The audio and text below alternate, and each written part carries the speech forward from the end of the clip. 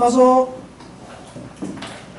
一道一清净，啊，一味一解脱，就是同一条道路，同一个道理得到同同样的清净，啊，就是没有分别，没有差别，啊，一味啊乏味啊，那么解脱一解脱啊，就是说佛陀是这样解脱的，佛陀是依这个方法得解脱的，你也依这个方法，你也得到跟佛一样的解脱。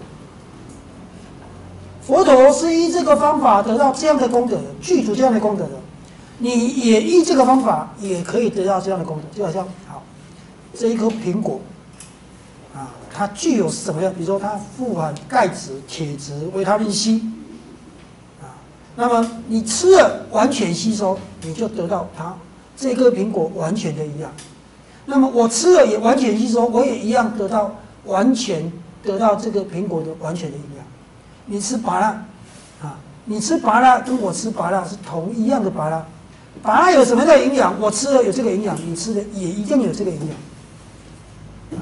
那番茄啊，那么你吃了，你生吃有这样的营养，熟吃有这样的营养，一样，我用这个方法生吃熟吃一样得到你吃到之后所得到的营养一样，所以这个法，它就是这样的道理，这样的方法。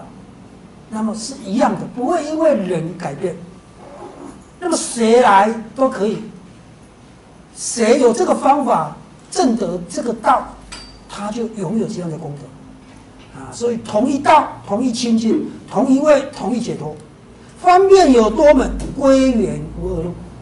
方法可以从不同，就是说可以从不同的路来，但是到达是一样的，就好像说。这个今天今天来这里，有的从有的从东边来，有的从西边来，从南边来，从北边来，但来到这里都是一样的，啊，那么所以像长江大河从发源地起，有种种西见，啊，就佛佛法啊，那适应不同的人，啊，那么说不同的法，但是你依佛所说的方法，慢慢慢就可以达到成佛的地步，啊，所以。种种溪涧，种种湖泊，种种江河，都汇入而同去大海一样，啊，到最后都归入大海。一切法门无非是成佛之道，啊，那所以《阿含经》跟《法华经》中称佛法为一乘道，啊，因为《法华经》主要是讲唯一大乘，最后都会成佛。如果你努力的话，如果你不努力。啊不是说我坐着，然后最后就成佛，不可能，不会。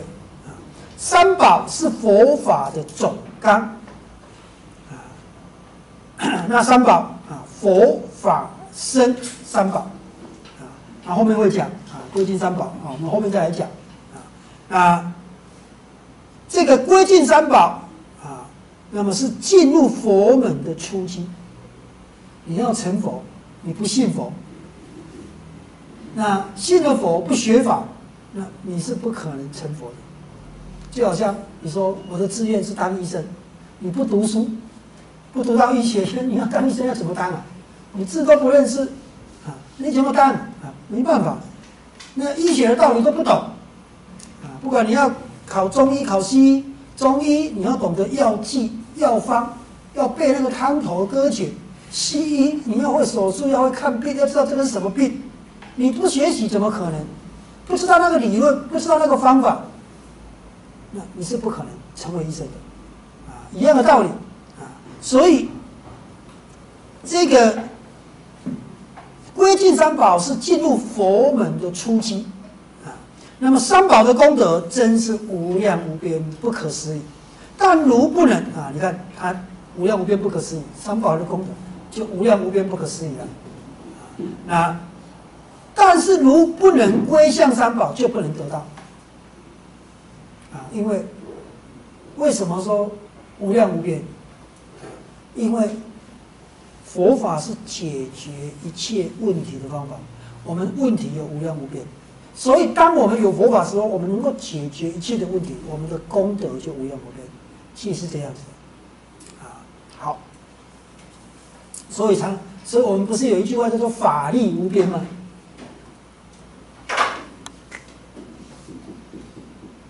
法力无边，啊啊，这是无量无边，啊，边就是没有边际，没有限制啊。那法是佛法，力就是力量。你学习佛法之后所，这就是功德嘛，就是功德啊，佛法的功德，啊，就是在你内心产生的作用，就利用。作用，你有了佛法，好像你有眼睛似的。般若经、金刚经不是有讲，如人有目，日光明照，见种种色。你你会分辨，这个是善，这个是恶。这样的问题是来自于这样的原因，必须由这样的方法去解决它。所你有智慧，你就能够，啊，这个是桌子，木头做的，啊，用火它会烧，啊，这个是墙壁，啊，要插油漆，啊，这个是电光，这个是日光灯。开关在哪里，按了灯就会亮，啊，那这个是音响，啊，那开关在哪里，然后开讲课的时候要开音响啊，这个很多东西就是这样啊，哦，那个是时钟，啊，那个是几点几分，如人有目，还有智慧，分辨种种，见种种色，啊，能够知道这个产生什么作用，这个是怎么来的，啊，然后这个我们什么时候用到这个东西，我们的佛法也是这样啊，啊，这里是什么问题？他是怎么来的？啊，什么样的人会遇见这种问题？他必须用什么样的方法才能解决这种问题？要用多少的时间？哎，这个就是叫做法力无边啊！佛法的利用，佛法的作用，让你发现到问题的症结，找到解决问题的方法。那一切的问题都因为你知道他的。问题症结在哪里，而可以得到解决？这个就叫做法力无边，不是可以移山倒海、飞天遁地，不是这样。这个是神通，它不一定是法力。这个一般叫做神力。法力无边就是指这个意思，就是没有边际，遇见什么问题就可以解决什么问题，没有限制，没有局限，啊，其实是这样子的。所以叫做无量无边功德无量无边，指的是这个啊！你不要以为哦，我就具有很大的力量啊，我是神力啊！这武侠小说看太多啊，掉进坑里面遇到一个高人，一下子给给你灌灌这个功力，一下子增加三十甲子的功力啊，没有这种东西啊。好，那所以他这里讲啊。三宝有无量的功德，但是如果你不归经，你就没有办法得到啊。那么无缘受用啊，就没有办法产生不了那种作用嘛啊。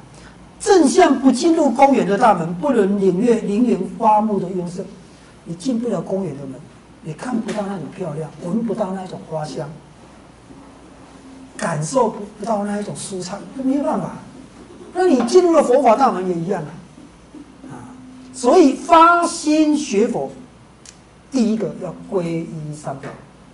啊，佛教的三宝是佛法僧。啊，老子也有三宝。老子三宝是什么？啊，有没有人知道？老子也有三宝。道德经啊，他说我有三宝。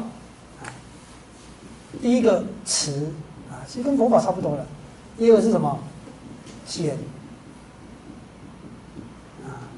减去就是少欲知足了，啊，慈就是慈悲了。第三个呢，不敢为天下先，去就是谦呐，啊，这老子说无有三宝，这个是谦，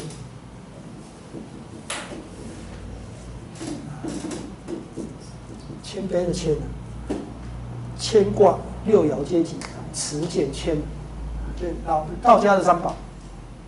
好，那 佛法的三宝是佛法身啊，那后面会讲啊，我们再慢慢讲。很多人基本上连三宝都不知道，真的我不知道。好，我们来看第一个寂啊，现在是开始讲寂而已哦。有海无边际，世间多忧苦，流转起还没，何处是依附？好，我们先来看这个文啊，先看这个文。皈依要有求皈依的诚心，啊，就是你首先学佛，要拿出你的诚心出来，那么这个诚心是什么呢？啊，这个经典讲，什么样的心才是真正皈依的心？好像你落在大海里面，像人落在大海里面，随波逐流，啊，随着波浪啊，海里面有波浪嘛，啊，那么啊，跑来跑去，跑来跑去的，啊，那。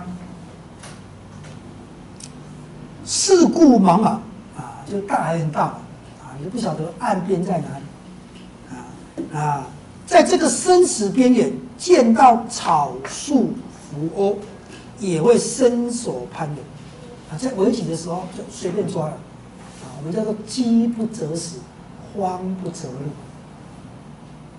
啊，那你在大海里面啊，就快要沉没了，啊，这时候草树啊，就大海里面有一些水草嘛。那一大群，啊，那你就抓，可是水草，你抓了它也会浮下去的，啊，浮鸥啊，就是那个泡泡泡，啊，啊，那个也是你一碰就没有了，啊，那也会伸手攀援，听到风响鸟鸣也会大声呼救，啊，以为有人来了，啊，那么求救护的心恳切万分，唯一就是想要得救。当然，我们现在很难有这种心，除非你受到很大的痛苦跟折磨，就像韦提西这样，啊啊，那这个一般人平常好好的那种心不太容易生出来，啊，就是说希望我未来更好，啊，所以通常都有这种得过且过了，啊，就是姑姑且你姑且言之。我姑且听之。啊，大概大概都是这样的，所以比较没有那一种很好像说，因为我们对轮回没有逼迫感。你看四谛，我都讲苦逼迫，逼迫性苦，就是说一般人对苦的认识，就是说没有那么苦了，所以没有那种急于，就是像这里讲，好像大海里面，我们还没有那种感觉。哦，好像快要淹死了，再没有船来，我撑不了多久就要死了啊！还没有那种心，那个苦有逼迫性。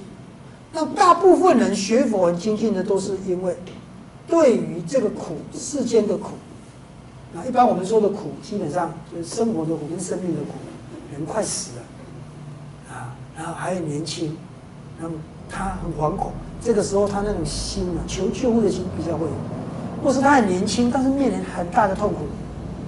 啊，他将要不能承受，他希望有谁能够帮他，那种心就会比较切。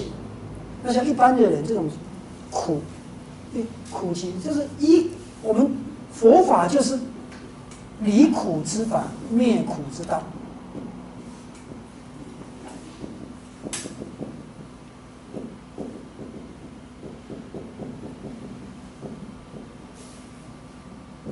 基本上是这样啊，但是。取决于你有多大的诚心，取决于你想要离苦的决心。可是大部分人对这个苦还没有那种逼迫性，啊，还没有那种已经逼迫了，好像火已经烧到这边来了，啊，那普贤菩萨说如救头燃，好像头都着火了，啊，火还在那边烧，还没有烧到这边来，没关系，等烧到这边来，啊，我再来开始，一般都是这样，啊，还年轻，啊，等我老了再好好学佛。啊，我公司还事业很大，等我公司事业收起来了，那时候我再来好好学佛。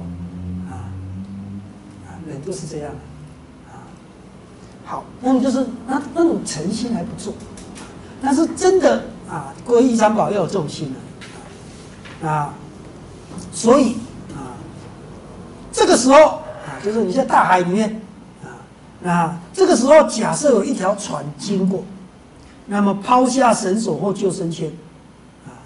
成熟就是就是方法，引导你的方法，啊，就是佛法。那你还不立刻抓住，尽量攀登船只嘛？依着佛法，然后上了这条船，这条船叫做法船，啊，那么求皈依的诚恳，应该如落海者的求生一样，这个才能圆满成就皈依的圣妙功德。所以现在就是你必须要有这种心。那么现在就以浮沉苦海来譬说，啊，所以这个海是什么海？这个海是什么海？苦苦海，叫做苦海无边嘛。好，那我们来看哦，他说有海无边际，有海无边。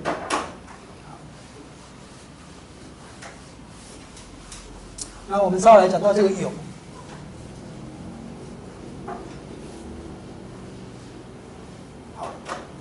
有海无边际，我们先说，这个有不是有没有的有，啊，有是一种啊，它底下有讲有是什么，啊，我们先来讲啊，世间以众生为本，就是有情啊，众生就是有情，有情是有生命的众生，是世间现存的事实，所以佛亲称众生为有。那每一个众生向过去看，一生又一生，无边无际，在没有了脱生死以前，未来也还是一生又一生，没一个边际。众生的生命流无限延续，如大海的茫无边际一样。好，那这样看起来啊，还是不是很了解啊？但是基本上他这里讲两两件事，这个有有两个意思啊。第一个。我们先来讲这个有，这个有不是有没有的有啊，这个就是纯有，这个有是纯有，它基本上我们讲这个有是指众生有情，有是指有情啊，这个海是苦海，生死苦海，轮回的苦海。好，那么这个有主要两部分啊，主要是两部分。第一个啊，现实生命的存在就是有情啊，就这里讲的。啊，有情，有情是有生命的众生，是世间的现存事实，现存生命的存在，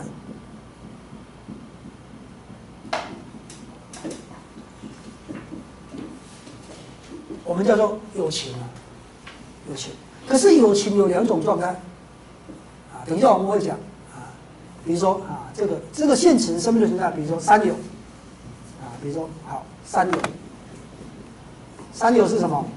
欲有、欲有、色有、无色有，就是欲界的有情、色界的有情、无色界的有情，这个叫三有：欲有、色有、无色有。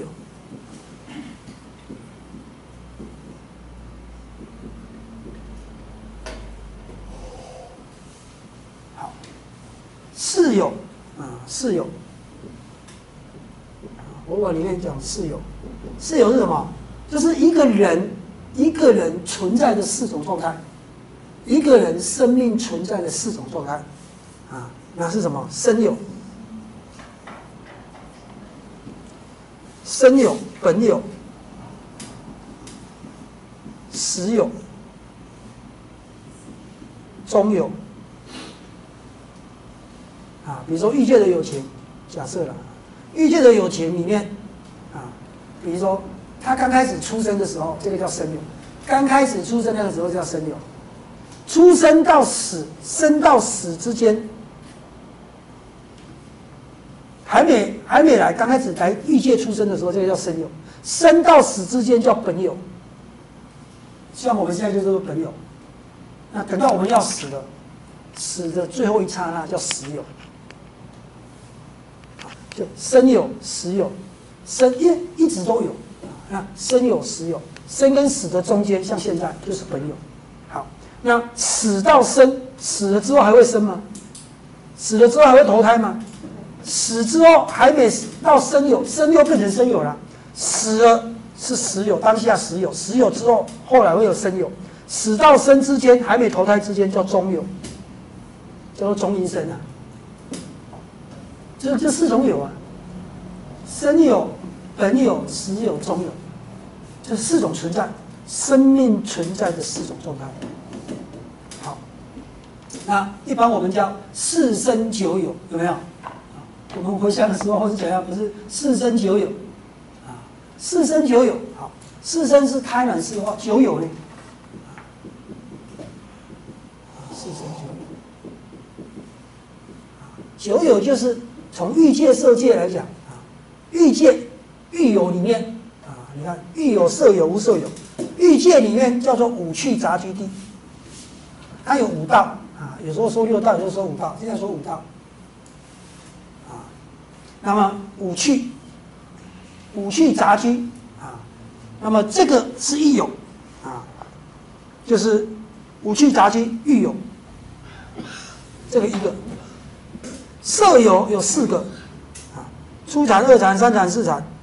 那无色界也有四个，啊，那，那么无色界也有四个，啊，空无边、事无边、无所有、非常非常想，这加起来就九有，啊，四个、四个、八个，一个九个、九个，啊，那最多还讲到二十五有，啊，二十五有，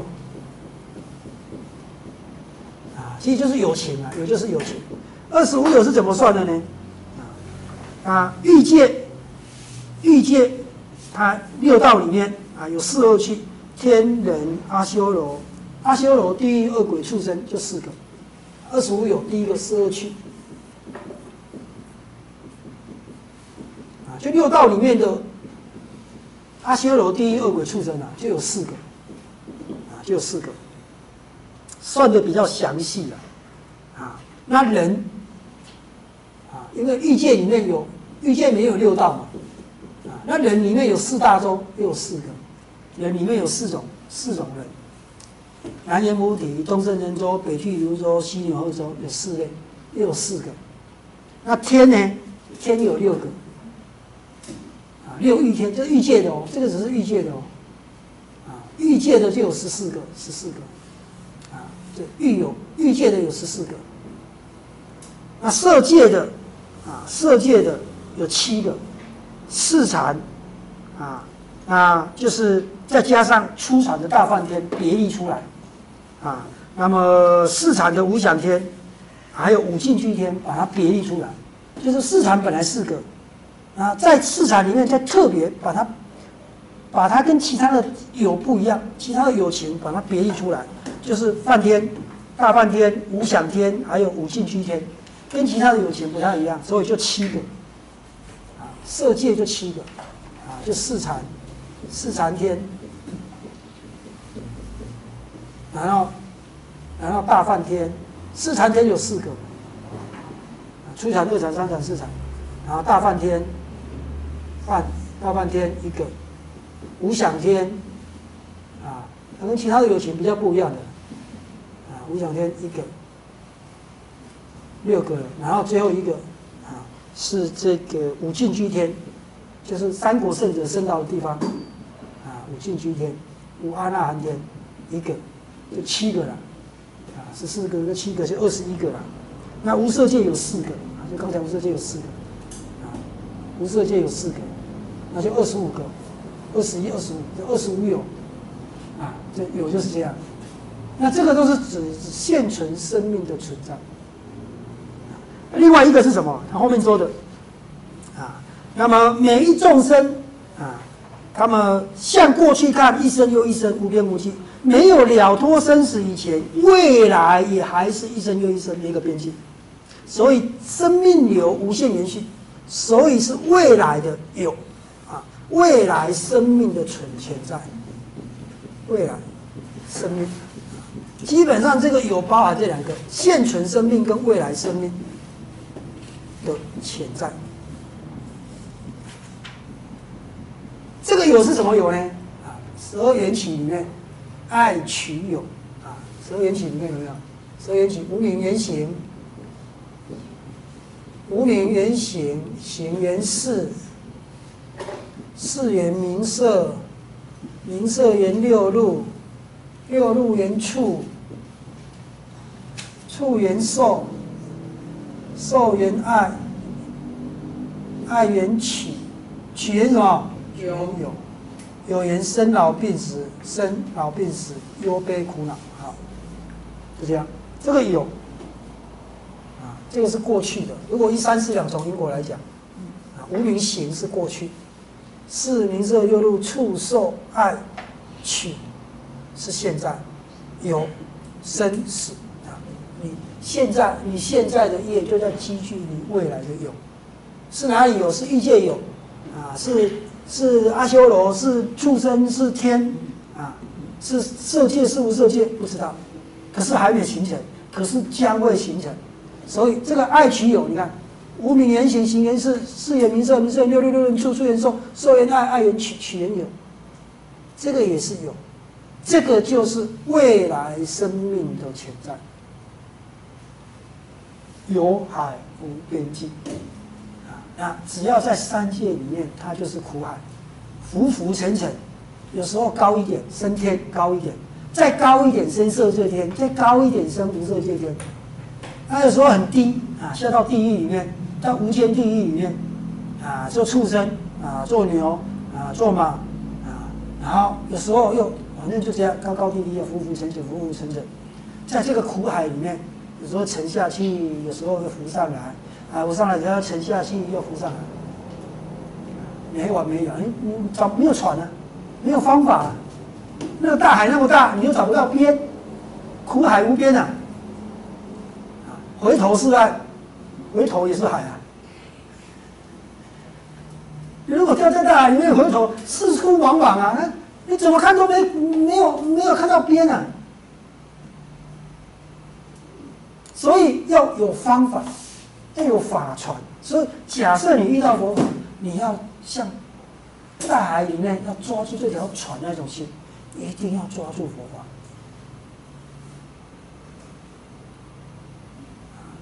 那这种这种心呢，这种心，它就是皈依的心。好，那是在有海无边际。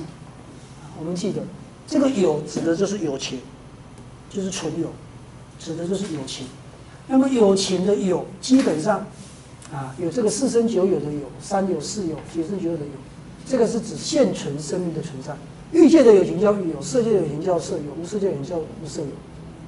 那么这个有情里面生命的四个阶段：生有、本有、实有、终有。啊，那这个后面是其实分的比较细一点的，那主要是这两个。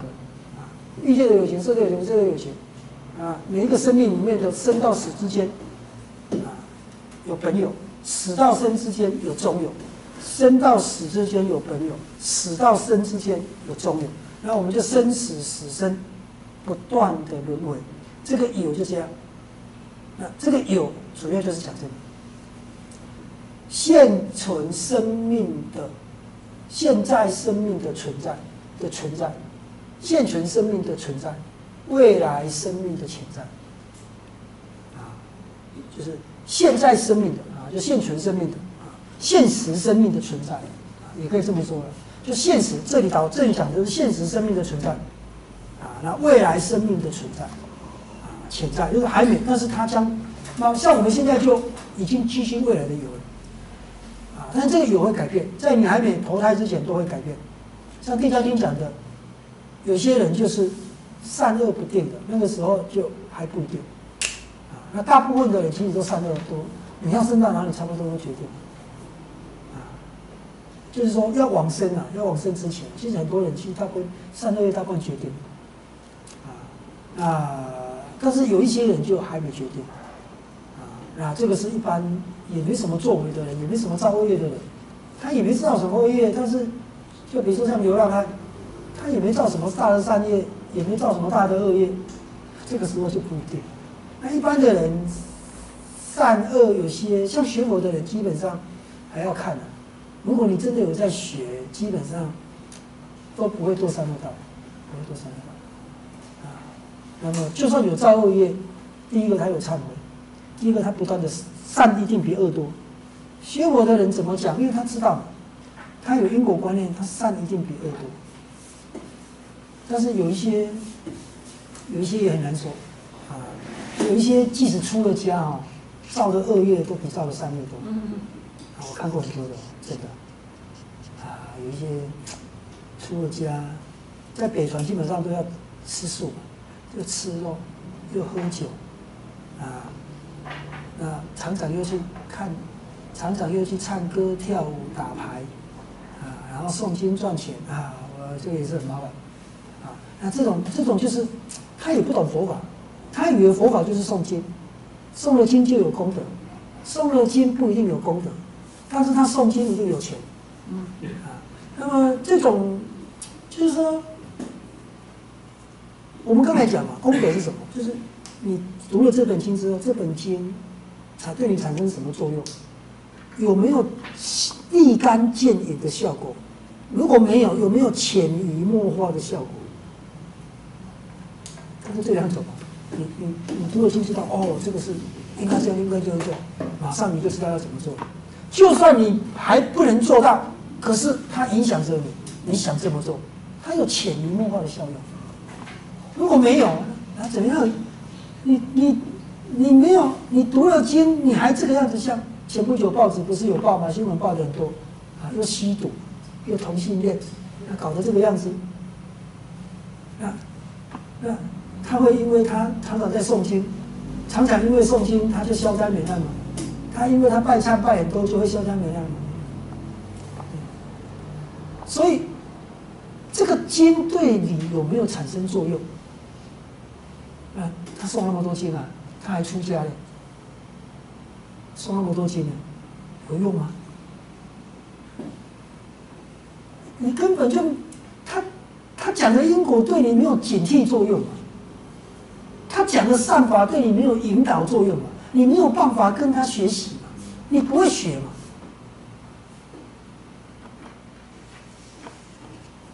他叫你你欲恶不善之法，结果你天天都不行善，都造那些恶业。表面行善，实际上不行善。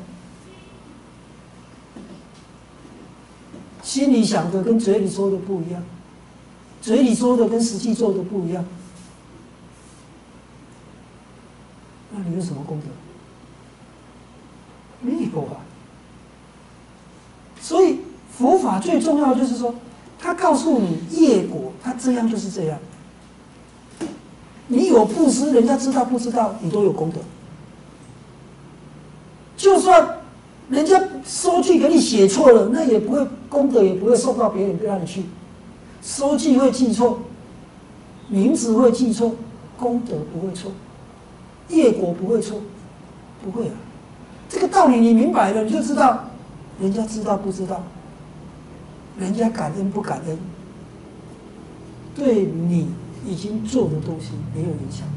唯一有影响的就是你做了有没有欢喜。有没有后悔？有没有继续做？唯一有影响的就是这样，就是你造了这个业之后，假设你造了恶业，人家知不知道？你恶业都会成就。那么，可是你知不知道就有差别了。如果你知道这个是恶业，你有忏悔心，你知道恶业会受恶报，你会担忧害怕，你会减少做恶业的机会，能够不做尽量不做，做了之后会忏悔。这个恶业就会产生变化。如果你造了善业，你知道善业人家知道不知道？人家称赞不称赞？人家感恩不感恩？善业都是你的，功德都是你的。可是你做了善业之后后悔，你的你的功德就会缩减。你造了恶业之后会后悔，你以后的苦就会重罪轻受，会缩减。你造了善业之后你不后悔，你决定心欢喜心。你的善业就会增加，不在于人家知道不知道，在于你知道不知道。啊，这很重要啊！所以诵经就是要明白道理啊。诵经明白道理，功德从心不从声音啊。诵经要明理，然后要什么净化身心啊。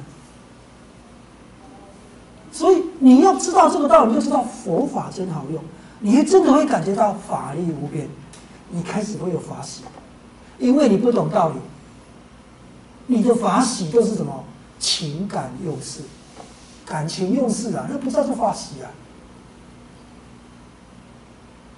那个只是叫激动而已啊。啊，好，我们往底下看啊，所以现在先讲有啊，有海。这个有我们记住，它基本上就是指有钱。那这种有是纯有，纯有。那纯有有两种，一种就是现实、现在、现存生命的存在，啊，那么未来生命的潜在，啊，就潜流啊，这里讲的潜流，生命流。好，啊，有海无边际。这样为什么叫无边际呢？轮回不已嘛，生死死生生死死生，一直到现在，我们都还在轮回，一直到现在。什么时候能了？问我，问你，你什么时候要学？要学多久？学多少？你掌握方法没有？如果你掌握了方法，它有断的意思，无始有终，就是我们什么时候开始轮回的不知道，什么时候开始轮回的不知道，叫没有个开始，无始。但是有没有结束的一天？有，有解脱的一天，有终。我们的轮回无始有终，会结束的。可是假设你不学佛，那个叫做无始无终，没有结束的时候。啊，你看有一些人也是这样啊，痛苦的时候一直痛苦，忧郁症，啊，不断的这种解走不出来，一直往那边想，一直往这样做，无始无终。没有解脱痛苦的时候，可是你开始走出来，要努力，我要改变我自己，我一定要改变。我年轻的时候就得忧郁症，真的十几岁的时候就得忧郁症。我很知道忧郁症那种心态。即使出太阳，你的天空都是灰暗的；即使出太阳，你的你的天空都在下雨，未来没有希望。过去是痛苦的，现在是茫然的。可是你要有一个心，我一定要走出来。你只要有这个心就可以，然后要改变，慢慢改变，慢慢改变。忧郁症，如果你你心里面就是不如理思维了，重复的不如理思维，你一般人自己走不出来，要有人帮他走。但是有一些人力量比较强，他也可以自己走出来。但是一定要自己肯定自己。自己相信自己，自己鼓励自己，这很重要。因为你不要希望别人帮你，自己相信自己，自己肯定自己，自己鼓励自己，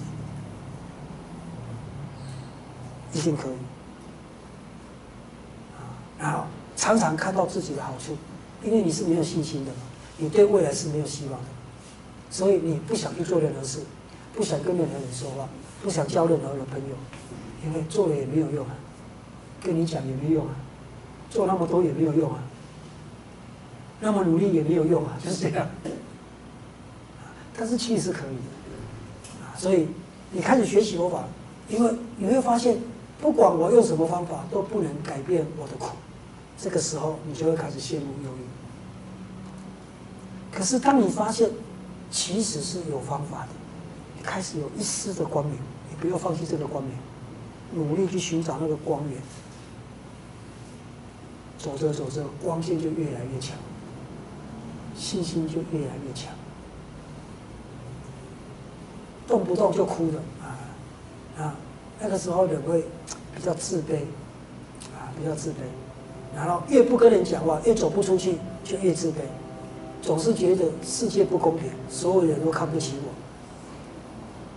我再怎么努力都没有用，就是这样，啊！但是其实是可以的。佛法，佛法，我们刚才讲佛法三个趋向：积极、乐观、自在，向上、向上、向解脱，一定是好的。你会发现到身心状况开始变好，你会发现希望越来越大，啊！那你你会发，你会一天比一天好。当然你要努力。你自己要努力，自己常常要肯定自己。很多人会打击你，因为你确实表现的不好，可能因为你的环境不好，导致于你自身不是那么好。那很多人会羞辱你，会打击你，会攻击你，会看不起你。但是你从佛法的观点来讲，一切众生皆有佛性，一切众生皆可以成佛。我们刚才讲，央觉摩罗。杀了那么多人，所有人都想杀他，他也可以解脱。坐立盘头起，那么笨，他的哥哥都叫他还俗，你不要出家了，丢人现眼，他也可以解脱。莲花色比丘尼，年轻的时候，因为他儿子死掉嘛，丈夫又跟他的女儿发生关系，我就乱伦了，那一大堆很麻烦啊。他的他的痛苦没有人能够，现在找不到可以跟他一样痛苦的人。他后来放放荡堕落，放弃自己啊，在三个大城市啊做妓女，怎么专门想想到怎么专门去骗人家的钱，然后怎么去引诱那个男人。最后要，最后要，最后人家跟他打赌嘛，要引诱那个引诱那个木线莲嘛。那木线莲有神动啊，木线莲已经离异了，后来木线莲度化了他，一样正他的。所以要肯定自己，做人不容易，做人而能够得到佛法更不容易。啊，所以我们。不管我们过去怎么样，我们的背景怎么样，我们的环境怎么样，我们单单可以做人，而且我们可以听闻到佛法，学习到佛法。如果全世界所有的众生是一百万的话，我们至少排在前一百名。真的，你想想，这个世界有七十亿的人，现在七十几亿了，七十五亿大概有。佛教徒。南传、北传、藏传，再加上乱传的，不到五亿，啊，真的不到五亿，不到五亿啊。那么有正信的，有正信的，不到一亿。大家拢两用对白，他谁的？根本不知道佛法，真正有正信的不到一。你看，你们就在，而且这个是人而已哦，人。人跟众生比起来，人是左上图哦，众生是大地图哦。那你看看人有多少？最多的就是畜生道。单单这个地球的老鼠就人的人的三倍多，其他的动物不要讲，蚊子、苍蝇啊不用讲了，就人的三倍。其他不用说，就大海最多了，大海的那个最多的。这个地球土地只土地只有百分之三十。包括高山，大海有百分之七十。啊，你看，你看，你看，人是很少，人不多，人里面能够学佛的不多，学佛里面有正见的不多。这无量寿经讲的，啊，然后这个这个能够听闻佛法，听闻到大乘佛法，而且最重要，他说难中之难就是什么？无过此难，就是你听了之后能够依教奉行。你能够照着佛法的道理这样去修行的，这样更难。但是我们总算听闻到佛法，总算得到人生。那个就是游太平洋，游到快到岸边了。太平洋那么大，苦海无边际哦。哎，我们真我们曾经轮回多少？在地狱里面一待就是一百万年、一千万年。啊，在畜生一做就是五百世。如果做畜生会很多世，要一世很很短的时间。做狗七年、六年、五年、三年，可是要做好几百世。做猪啊，做如果养到才几个月大，烤乳猪啊，就杀掉去杀了。要做好多事了。做鬼大概做一次两次，要做很长，一次五百年。那做动物一次一年要做五百次，大概这样啊，那有时候天上还有很难长，反正就是这样一直一直到现在，我们总算要出头天。快到岸边，如果这样看呢？大海、太平洋那么大，如果这个地方是太平洋，啊，一个小细菌从这里游游游游游游，我们都已经走到这个墙墙角，哎，游多久才游过来？做人，然后见到佛法，然后学习佛法，然后要修学佛法，所以一定虽然现在受苦，但是你以前游过来，只能这过程中你还造了很多业，现在受报没关系。我再怎么苦，我再怎么恶劣，我再怎么不堪，我烦恼再怎么出众，跟那一些，跟那一些三途八难的比起来，我都在前面，真的。所以你这样，你这样知道了，你就开始怎么样？我开始，你这样想绝对不会忧郁症。没有人比你好了。你的生活可以不好，你的身体可以不好，你的事业可以不好，你的家庭可以不好，但是你可以学习佛法这一点来讲，很少人能比得上。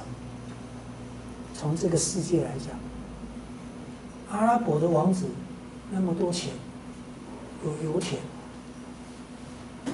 可是他没有学习佛法的机会，他们一生就是要信阿拉，这一生已经没机会学佛。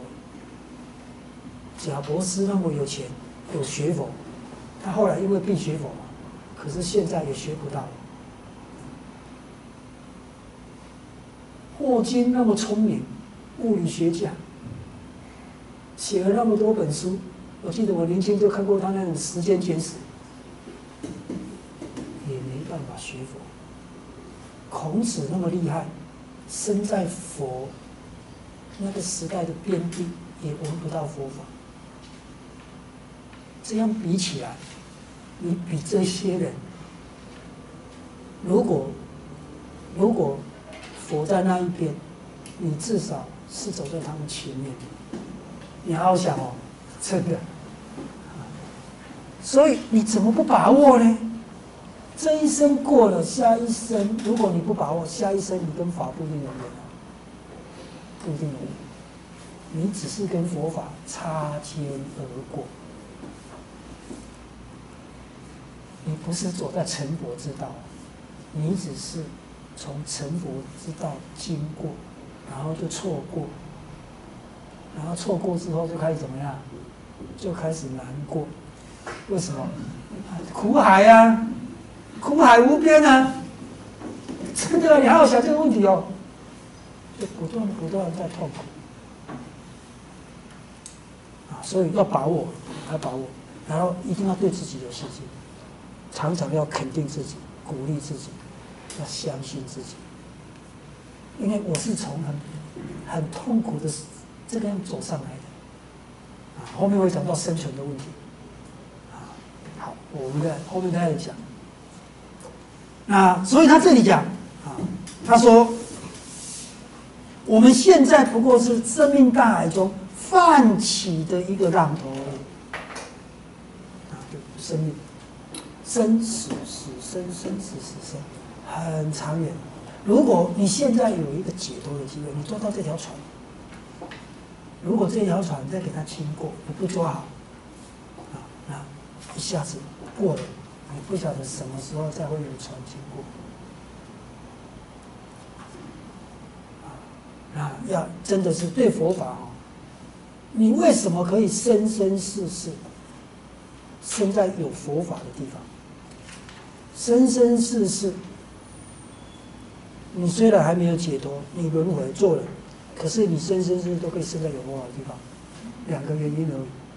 你跟佛法有缘，那你为什么跟佛法有缘呢？第一个，你心中有愿，你有学习佛法，你受持佛法，就是我们讲的你修持佛法，你常常在修法，常常在修法，你心中有法，你当然跟佛法有缘。第二个，你护持佛法。护持佛法也跟佛法有，你会遇见佛法，但你不一定会修持佛法。但是你就是会遇见佛法，你遇见佛法会欢喜，那欢喜，他就有那个因缘，有可能你会修持佛法。但最重要的是你要修持佛法，修持佛法，护持佛法，护持佛法，修持佛法。我告诉你，你即使没有解脱，生生世世。会生在有佛法的地方，会遇见佛法。哪里有佛法，你就生到哪里，就是这样啊。所以也不用担心。所以最重要的是你要抓住佛法。那那时间快到了是吗？好，时间到了？啊，因为时间到了，我们先讲到这里好。那后面还有，那么后面就讲到啊，这个有。这个有，然后讲到无常，讲到这个世间的现实事实，我们怎么，我们怎么样来看待这个世界？这是第一个。第二个，我们怎么看待我们的生命？那么我们要怎么努力？你错误的人生观会导致你错误的生活方式。每个人都取决，每个人生活的方式取决于他对生命的价值观不同的看法。所以这个价值观很重要。你生命的价值在哪里？你的人生观取决于你生命的价值是价值多少。所以怎么建立一个正确的人生观？后面就开始会讲。啊，讲到这个世间的一个现实事实，啊，这无常记啊，积聚皆消散这个好，那我们后面还没讲啊，就过去到现在未来好，那这个我们下一次再继续讲，大家合掌回向，愿以此功德，愿以此功德，普及于一切，普及一切，我等与众生，皆共成佛道。